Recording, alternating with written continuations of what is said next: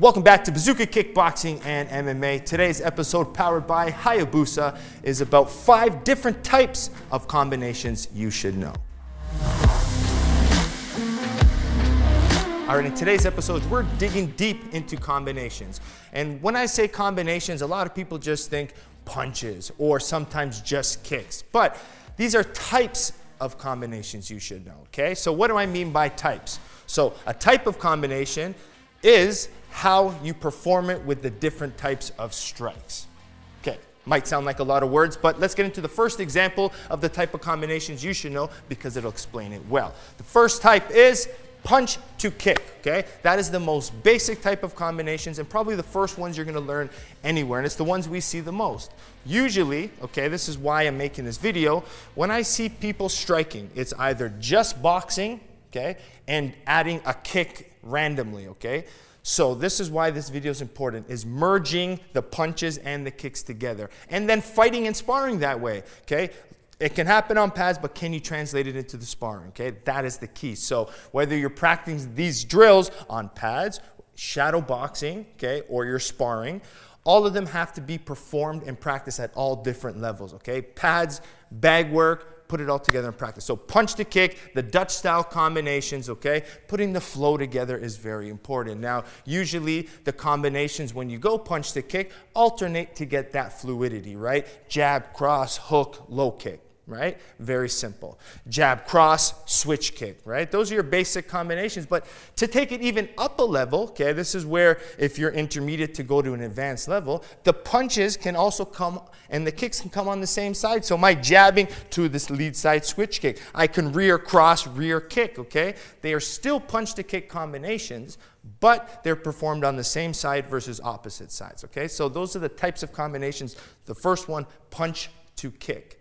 Now, number two, okay, this is personally my favorite because they don't happen a lot of times and they set up your punches really well. So, the second one I like to talk about and perform is kicks to punch this time. Like I said, the first, the ones you see all the time, punches to kicks. But throwing your kick first, then following with your punches, you find a lot of success landing the punches. It's a great way to set up the punches. Just think, if I throw a big power round kick at you, you have to block your head, which at that moment you become a shell target for me. So now I can come in and blast off punches, good level changes. So that's very important. Lead with your kicks, follow your hands. All right? Number three, okay, is more based on the lower body, and that is kicks to knees, okay? Very important types of combinations because you have to think about ranges when you fight. If you're a kick dominant fighter like myself, right, I like to throw long kicks. And how do you beat a long, good kick fighter is pressuring. So you have to have weapons ready for that inside close range. So practicing your kick to knee combinations will really help with that, all right?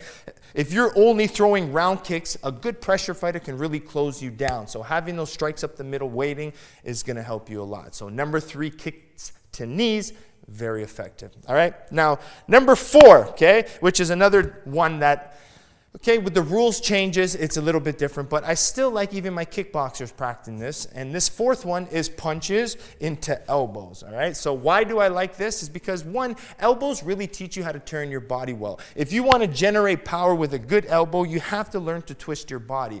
And that learning to twist your body, I find helps you developing good power punches because you really have to rotate to hit this target, all right? So that's the same thing with your punches. So learning to do that and use your elbows really helps. So the other thing it really helps is closing of the distance and managing the range. So learning to punch from here to step in that little bit to land the elbows is very important. So, but in mixed martial arts, Muay Thai, boxing to elbows, very valuable. Now, let's get into the fifth and final one, and that is elbows to knees, all right? Now, as you notice with all of the combinations and all the types that I talk about, they all have some form of punch to kick, long to close, close to long, right? So we're playing with ranges. So if you're in a very close range, the type of combinations, right, need to be elbows and need to be knees on the inside and develop into clinch style fighting. So learning to throw combinations with your elbows and knees flowing together. It's not just elbows and it's not just knees. It's putting the two together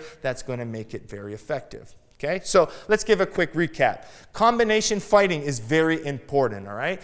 Obviously, to win a fight, just throwing a single punch isn't enough, but punch to kick and only throwing one type of combination isn't good enough either. If you're going to become more advanced, want to use trickery and become a high level fighter like the guys we see like Israel Adesanya who can do all these different types of combinations very well, you have to start practicing them from an early time, okay?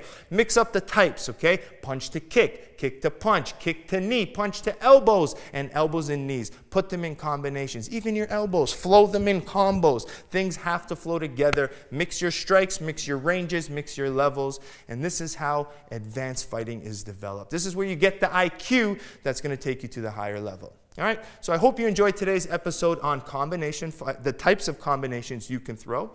And it was brought to you by Hayabusa Fight. All linked in the description below. Check out their T3 boxing line as they're my personal favorite, as well as Perfect Sports Nutrition, code Bazooka20 to get 20% off your supplements. Also descripted below. BazookaShop.com for bazooka gear. And last but not least, bazookatraining.com. Okay, so bazookatraining.com is where I give you four new workouts every week. Okay, totally different from YouTube. YouTube is basically I teach these fancy little concepts, right, to get the attention. If you want to learn the basics, the structure, and how to do all these fancy things properly, you have to head to bazookatraining.com. Four workouts a week. If you don't have any equipment, we have home workouts. You have a bag at your gym or home, you have bag workouts for you, sparring drills, okay, and tutorials to teach different types of concepts. All right, $9.99 US dollars per month, four videos a week. It's a basically a steal, and I'm at your house teaching you every single day. All right, we'll see you next time here at Bazooka Kickboxing and MMA. Over one year in lockdown, an empty gym, a divided community, many questions unanswered. They're doing the best they can, uh, trying to save their business. But on one man's 36th birthday, he decided to fight back.